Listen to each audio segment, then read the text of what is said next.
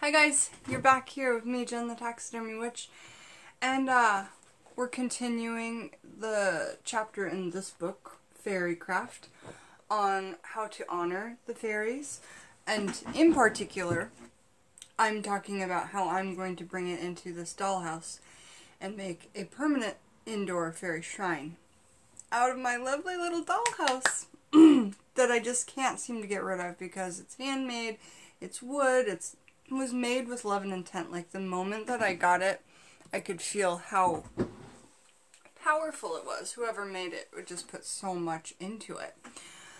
Um, so right now, if you watched the video before this, we've talked about how to set that up, how to dedicate it. Then we talked about in the next video, we talked about what you could use for a proper offering, both indoor and outdoor. How to take care of your offerings, how to dispose of them. That's the video before this. In this video, we are talking about things to avoid. Things that the fairies, like, shouldn't have in their offerings, okay? So, things to avoid. Number one is glitter. And I see a lot of people offering this. Um, and I don't use glitter because of the mess that it makes on me personally, and I can't get over the feeling, and sometimes it can cut you and all that. And if you're like a clean person and you like to tidy, it's really hard to clean up. Um, and think about like, if you could do an indoor offering, that's great, if you can clean it up. But an outdoor offering with glitter, which is most of your fairy offerings will probably be outdoors because that is the realm, or the their domain that they take care of, that they represent. So I'm just going to read what she said here. Um, glitter is fine in its proper place on your face, as most glitter is made from tiny bits of aluminum, plastic, and glass. Leaving it uh, out in nature is not only littering but very damaging to any wildlife that may ingest it. Those little bits can shard up their insides, you know? or can just stay and linger around in there and get caught. Edible glitter is biodegradable alternative that should always be used when making children's bottles of fairy dust, as they will inadvertently want to pour it on flowers or plants. So apparently there's some biodegradable glitter. Look into that if it's something you're really attached to and really feel that you want to have. Um, the next thing, and I already talked about this, avoid chocolate at all costs unless you have an indoor offering where no pets can get to it. My pets are generally not allowed in this space unless they're on my lap. They're not allowed to like prowl around and look. They're not allowed to get in into anything because it's as precious in here as like if a baby was in here, it'd be just so like, er, that's how it is for a cat. Um, it's dangerous, super dangerous for babies and cats. so, chocolate. Many well-meaning people leave chocolate as an offering out in nature, and even some so-called authorities on the subject recommend it. You must not under any circumstances leave chocolate out in your garden or anywhere out in nature. Period! Exclamation point. Um, because of the high amount of theobromine it contains. I hope I pronounced that right. Chocolate is extremely toxic to most animals, sometimes even deadly. I'm sure you can understand why it would be a highly inappropriate offering. Make sure you leave it out of any baked goods that you leave as offerings as well. Another thing to avoid are leftovers.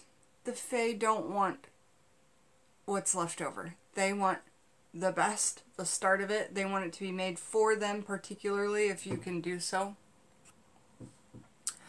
Um, when leaving food or drink out for the fairies, it must always have been specially made for them or be the first and best portion. If necessary, if necessary, it can be put to one side to be left out for them later, giving them what is left uh, giving them what is left over after you have eaten or drinking from it is not an offering. It's a sign of disrespect. The same applies to any offering given because it's something that you no longer have or have a need for, right? Um, Next thing to avoid is the neglected shrine. If you are going to have a shrine, either in your dwelling place or preferably in your garden, it should always be kept clear. Uh, clear of clutter, clear of debris. Food offering, if uh, clear of anything that doesn't belong. Food offerings should always be cleared the next day, as described earlier. We talked in the previous video about only leaving it out one night. In the morning, take it away because it will start to collect negativity and it will start to collect misinterpretation from the fairies, and you don't want that. If you put it out for one night and got all that luck from the offering, and it left it out for six days with negativity, it's, you know, like, just do it the next morning. Tidy it up. so, um, neglected shrines attract negative energy and mischief, the bad kind. Okay, so the fairies will prompt up in your life with mischief and tell you, like, hey, what are you doing for us? You know, where's that promise you made me? And if you make them a promise, better stick to it. I got within four minutes last Monday of breaking a promise to them, and it was terrifying. I was scrambling. You know what I'm saying? Like running. And uh, I ended up just writing them a vigil candle in four minutes with with love and I believe in fairies and all this stuff all over it, and then decided next week I'm gonna have something killer made. So I'm taking this weekend to make this shrine. Okay, uh, the next thing that you don't that you want to avoid crystals, kind of. Um, crystals are actually fine in your own space, either in your home or your garden shrine. It is recommended to check out your supplier to make sure they have been mined ethically. And that's going to be something that over time you'll be able to feel when you go to a metaphysical shop and there's a bunch and the person has no idea how they were mined or whatever. Or they came from Amazon and you have no idea how they were mined. over time you'll be able to um, feel so, uh, ethically mined and also there's an unfortunate trend in modern times to leave crystals or even bury crystals at sacred sites.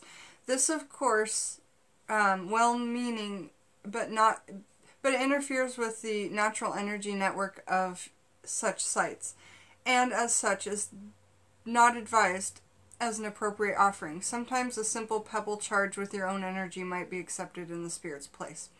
Um, and the next time we come back, we're going to talk about timing and suggested activities.